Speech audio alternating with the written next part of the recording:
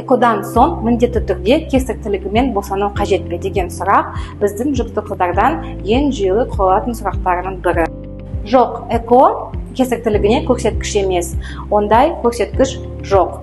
Кесірттілігімен босанасыз ба немесе өзіңіз босанасыз ба? Бұны сізді жүргізетін әйелдер кеңесіндегі акушер гинеколог дәрігері немесе перзентхана бөлімінің акушер гинеколог дәрігері шешеді. Көбінде кесірттілігімен босану үшін өзінің көрсеткіштері болады. Бұл жатырдың ішіндегі баланың орны уақыттан ерте бөлінуі немесе су кетуі немесе балаға ауа жетіспей ә, кіндігіне оралуы болуы мүмкін.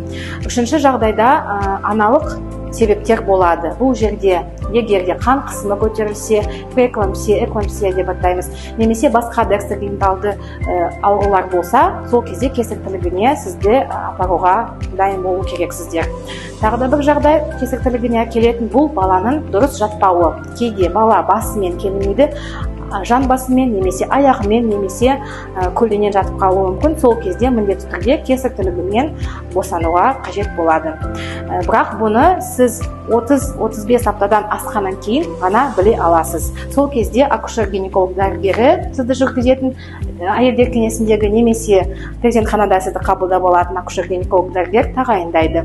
Сондықтан босанудан қорықпаңыздар. Өздеріңіз босануға барлық мүмкіншіліктеріңіз бар. Жүктіліктеріңіз сәтті өтсін. Босануларыңыз жеңіл болсын.